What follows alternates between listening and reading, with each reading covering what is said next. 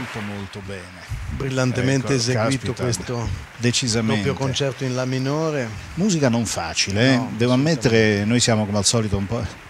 Scappiamo in sala per sentire fra l'altro un ascolto bellissimo perché i suoni sono veramente... La signora Gutmann suona un Guarnieri del Gesù con una sonorità enorme, veramente si sentiva, spiccava sull'orchestra e qui non ci sono microfoni e cursori, No, eh, no, dal vivo è il volume naturale. E, è molto bravo anche comunque Moritz. Musica, lo avevamo detto, è Un'ottima- veramente una seduta eh, psicanalitica di Brahms, è questa, veramente. Appena accenna una melodia che sembra poter piacere, la frantuma subito per dedicarsi ad altro, spreca Sobrietà, spunti. Totale, proprio sì, sì, sì, sì.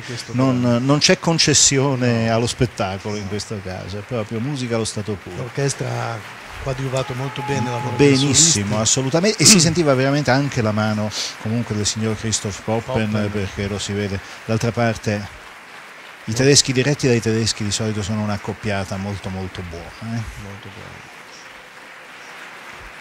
Per carità, lui si ha diretto Bruckner benissimo l'ultima volta, però Anche in questo caso sì, sì, beh, ma è, è, abita- è stata a Dresda tanti di quegli anni che è quasi tedesco lui, Sì, è in vero, realtà è ormai dalla natia a Rivarolo è ormai Rivarolen è diventato tedeschissimo.